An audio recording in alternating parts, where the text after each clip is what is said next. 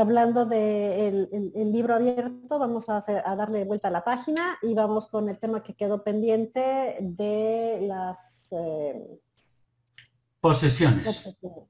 obsesiones. Adelante. Bueno. Mi abuelo decía, el que entre la miel anda, algo se le pega.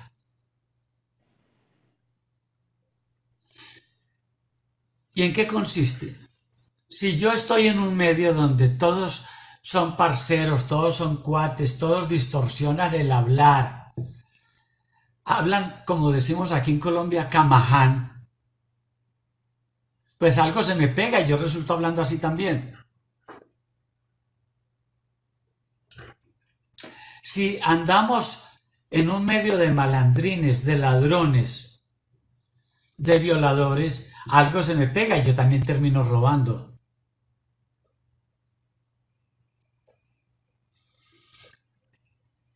Si aceptamos como cierto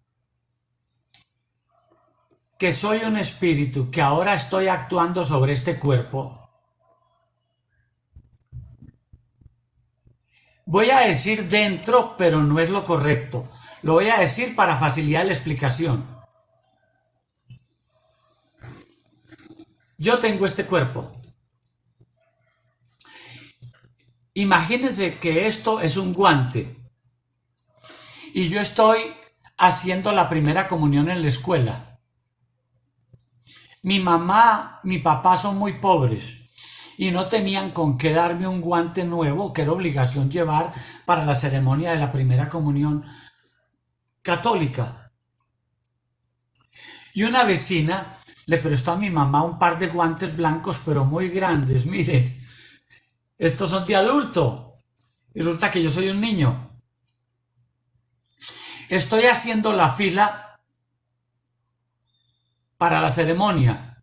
Detrás de mí está Juanito, que me tiene bronca, me tiene rabia. No le caigo bien a Juanito y estamos todos muy ceremoniosos en la fila, yo también, y tengo las manos bajas con mi par de guantes. Y Juanito, aprovechando un descuido mío, metió su manita también en mi mismo guante, porque es muy amplio, caben dos manos, observen. Y cuando la tenía dentro, me movió el brazo y le pegó un golpe al niño que yo tenía al lado.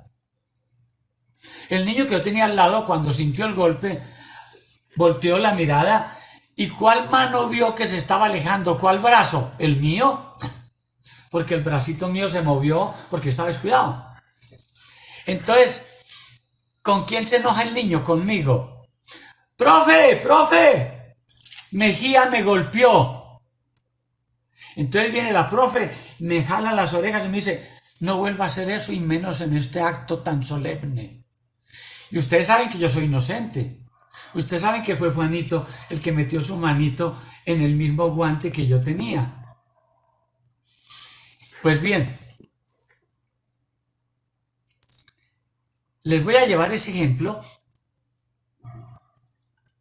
a otro caso ya más acomodado a la realidad. Ese es el ejemplo donde dos espíritus comparten un cuerpo temporalmente como si los dos espíritus se metieran en el cuerpo, cosa que no es en la realidad.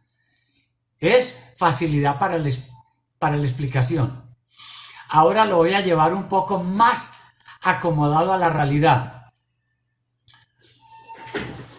Yo tengo un par de nietos, cosa que es real, mellizos.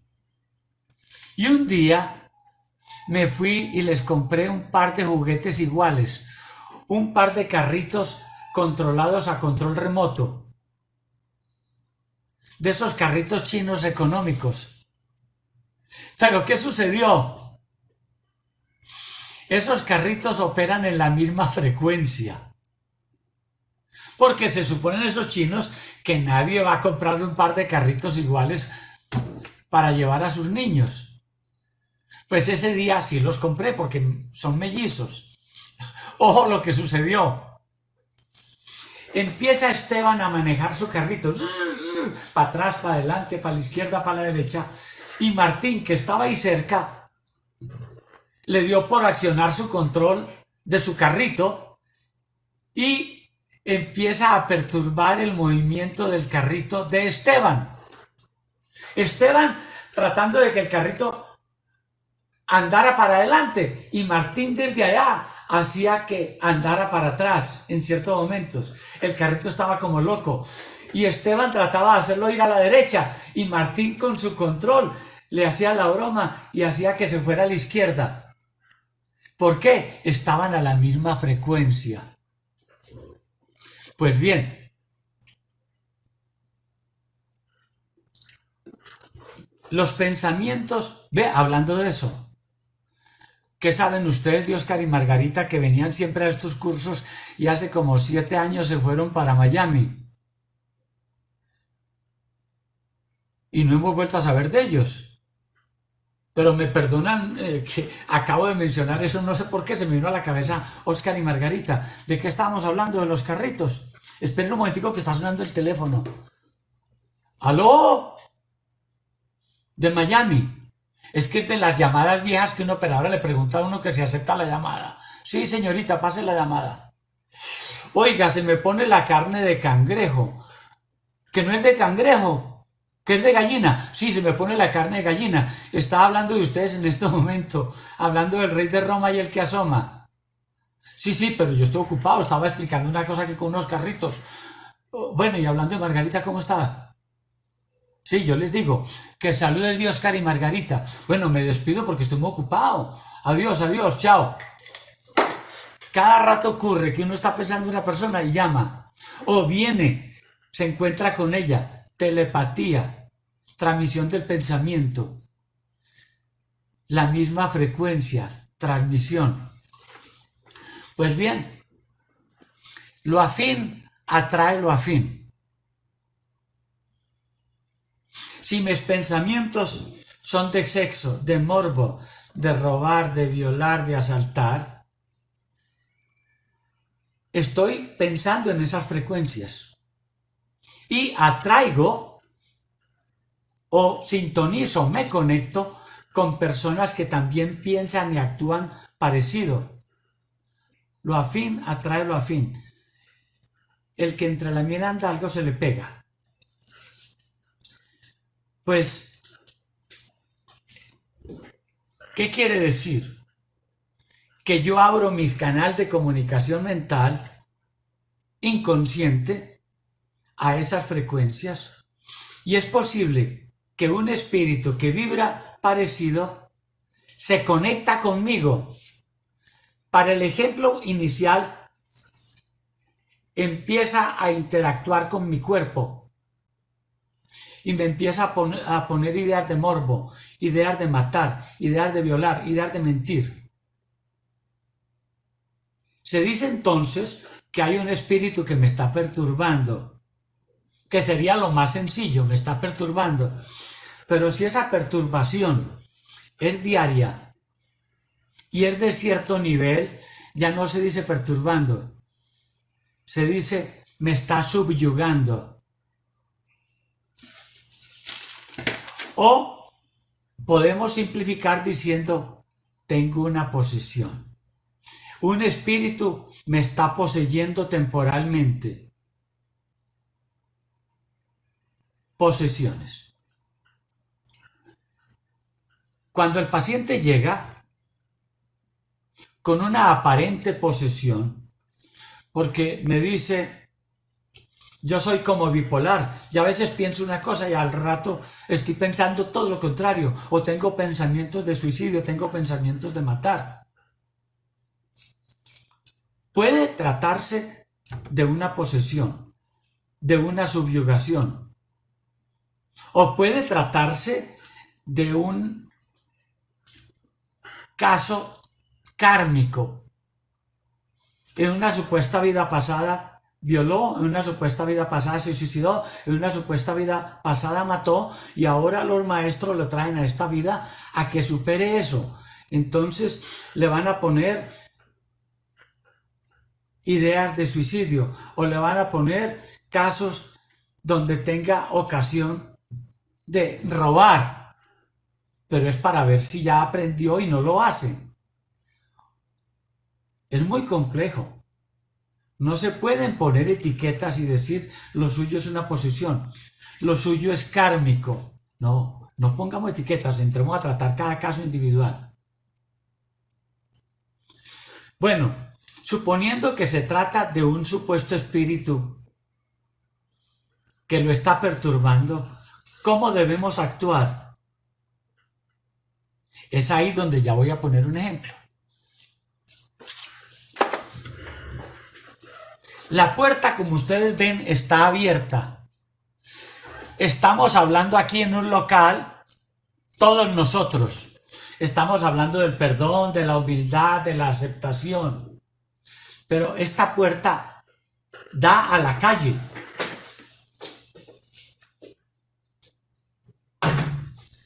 Y como se pueden dar cuenta, está abierta.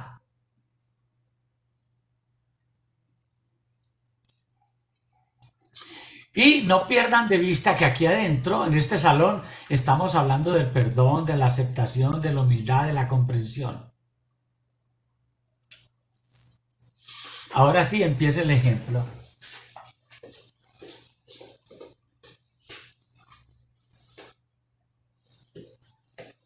Como se dan cuenta, acaba de entrar un joven de la calle, mal vestido, desgreñado, sucio, maloliente. Entró al salón porque la puerta estaba abierta y se dan cuenta que acaba de entrar con un palo en la mano. Y está en actitud defensiva porque a los lugares a donde ha entrado lo han tratado mal, lo han expulsado, lo han insultado. Por lo tanto, él acaba de entrar así. Pues resulta que ese pelón que está ahí, que ustedes han visto que se apodera de la palabra, inmediatamente se pone de pie y trata de expulsarlo. Y entonces, ¿qué hace este joven? Maloliente, desgreñado, sucio. No me echa de aquí, viejo calvón, viejo pelón. Y no me salgo. Que si te sales y empieza a empujarlo. Y luego otro de los que está ahí también se pone de pie y entre los dos tratan de sacarlo. Entonces este joven atraviesa el palo aquí en la puerta y lo atraviesa y, y se agarra del palo y no me sacas y empieza a tirarle, como decimos, pata. Normalmente sería pie, pero como está actuando a nivel animalesco, está tirando pata y lo escupe y no me sacas y empieza a, decir vulgaridades. Yo no digo vulgaridades, pero ese sí empieza a decir viejo chingón y no me sacas. Pues como son dos y son forzudos, le rompen el palo y lo sacan. Y, y cierran la puerta.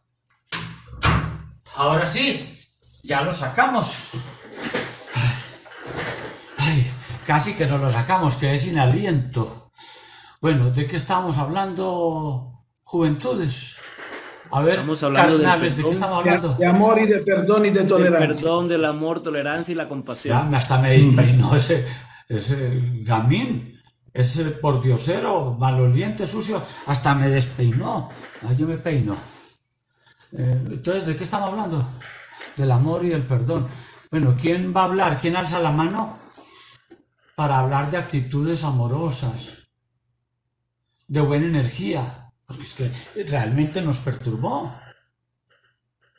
Ay, un momento, están, rompieron un cristal, ¿qué pasaría? Yo me asomo por aquí por la ventana. A ver, la ventana, la ventana, que se vea la ventana. Están lanzando piedras para acá. Oiga, acabo de ver a ese gamín, ese pordiosero, está allá afuera lanzando piedras. Ustedes ahora cuando salgan, háganlo con mucho cuidado. Allá está él con otros tirando, vea la piedra que acabó de caer. Acaba de romper el cristal esta piedra. Donde eso me ve en la cabeza me descalabra. y está el mismo con otros. Bueno, ahora sí, vamos a la segunda parte del ejemplo.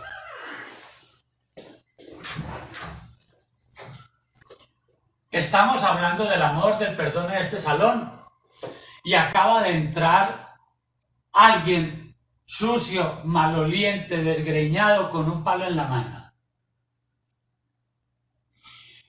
Margarita apenas lo ve, se pone de pie y le dice, jovencito, parcero, ¿a usted qué le pasó?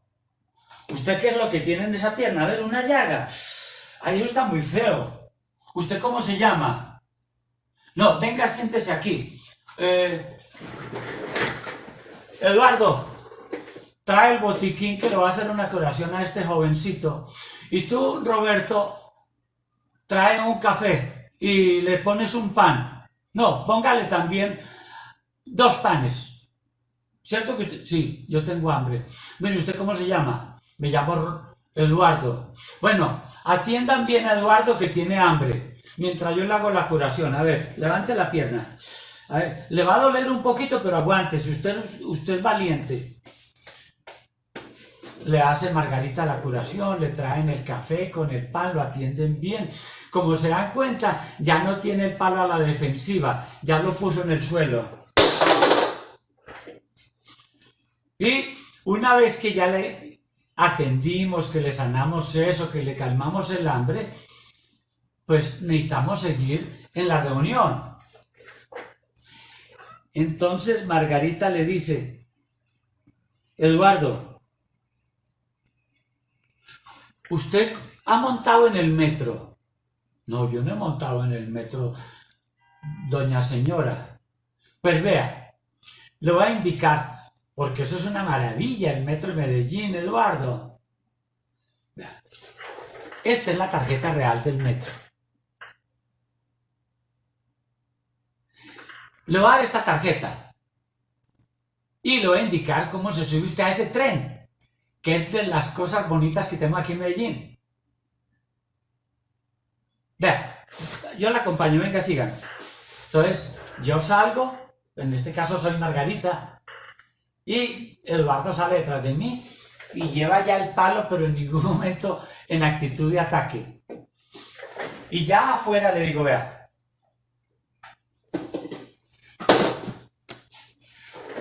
Entonces, como habla Margarita, no puede tener esto.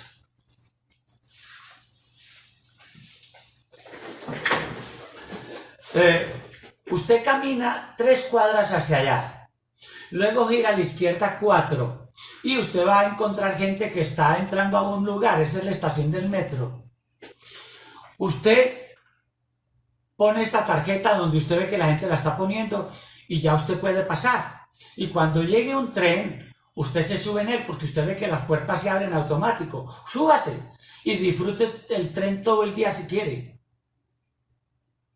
Ah, bueno señora, yo me voy. Bueno, Eduardo, adiós. A ver dónde está la mano de Eduardo. Adiós, hasta luego.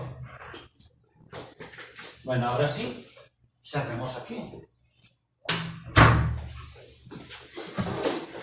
ya se fue. Oiga, han pasado cuatro meses desde eso. nunca más volví a ver a Eduardo. Quién sabe en qué estación se bajó, quién sabe por dónde se fue, pero nunca volvió. Bueno, entonces ahora sí, ¿cuál es la diferencia entre los dos ejemplos? En el primero lo tratamos con desamor. Y lógico, lo expulsamos. Sal demonio inmundo. A ver dónde está la Biblia. demonio inmundo, en nombre de Jehová, de Yahvé que todo lo ve, te expulso fuera de este lugar santo. Maldito, vete a donde vienes, a los infiernos. A ver, agua bendita, a ver una rama sagrada para pegarle aquí a este demonio. Y le pegan al supuestamente poseído. Y el poseído se lanza al suelo, escupe babasa, dice vulgaridades. Y al final, pues movió tantas energías que pierde hasta el conocimiento. Y entonces dice, ya fue liberado. y todos aplauden. Jehová bendito, tu poder se ha demostrado con estos demonios. Pasa el tiempo y después resulta que está peor, porque ya regresó con otros. Lo trataron con desamor. Yo creo que ya está todo dicho. En las terapias, sea real o sea imaginario, trátenlo como si fuera real y trátenlo con afecto. Ah, incluso háganle hasta bromas, pero trátenlo bien. Que él se creyó el cuento que era un espíritu y creyó el cuento que fue liberado. Pues de eso se trata. Nosotros no estamos haciendo comprobaciones. Nosotros no estamos escribiendo libros de historia basados en hipnosis, ni libros de espiritualidad basados en hipnosis. ¿Alguna pregunta?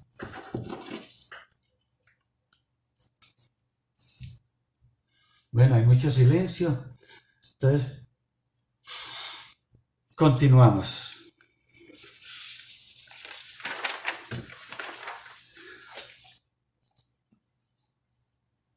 Nos dejaste este, eh, meditando sobre Sí, yo también estoy buscando a ver con qué tema continuó, porque yo fui muy elocuente, expliqué muy bien con pocas palabras. Eh, ¿Cuál era la pregunta? Que el, sonido no lo escuché muy bien. Sí, hablaste de la Ouija, pero primero expliquemos al conjunto qué es la Ouija. La Ouija es un instrumento empleado por algunos para establecer comunicación con espíritus. A ver, ¿eso cómo es? Eso tiene audífonos y tiene micrófono. No, no, no, no, no exagere. Que la comunicación es de muchas maneras. Recuerden que originalmente, cuando en la casa de la familia Foss se, se encontraron con este espíritu, la comunicación era con sonidos. Un golpe sí, dos golpes no. Después les dije que empezaron a llegar vecinos y a uno se le ocurrió decir el alfabeto despacio y el espíritu daba el golpe en la letra correspondiente a la respuesta. Y también a un vecino se le ocurrió sujetar un lápiz, algo de escribir, a una pequeña cestita, una canastica. Y la canastica ya escribía psicoescritura o escritura automática. Son medios de comunicación. Pero uno de los medios que se le ocurrió a alguno fue en una tabla escribir el alfabeto a, B, C, D, F, todo. Luego escribir aquí sí y escribir aquí no. Entonces, utilizando algo móvil que puede ser una tablita, unas tijeras, un palito, el supuesto espíritu hacía mover, ya les voy a explicar cómo, ese lápiz o ese aparatico que se llama testigo, que puede ser un vaso, cualquier objeto, y lo iba moviendo por las letras que la Ouija, o sea, la tabla, tenía. O si iba a responder sí, había un sí escrito aquí o un no. Entonces se facilitó. La tabla en sí, la Ouija, es un objeto, como cualquiera. No tiene poderes el poder se los da uno con la imaginación. Los gatos negros tienen poder. Ninguno. Es la superstición la que les dice, ay, pasó por delante de usted cuando iba caminando un carro negro, iba detrás un gato negro. Eso es mala suerte. No, eso fue que se lo pusieron. Se le derramó sal. Ay, usted pasó por debajo de una escalera, ¿cómo se atrevió? ¿Y cómo fue que usted compró ese apartamento en el piso 13 del edificio? Supersticiones. Nada de eso tiene poderes, ni el piso 13 tiene poder, ni la escalera tiene poder. Se lo da uno. A uno le usted por qué no le pasa nada de eso? Porque yo no creo en nada de eso, no creo ni en Lucifer, voy a creer en un gato negro.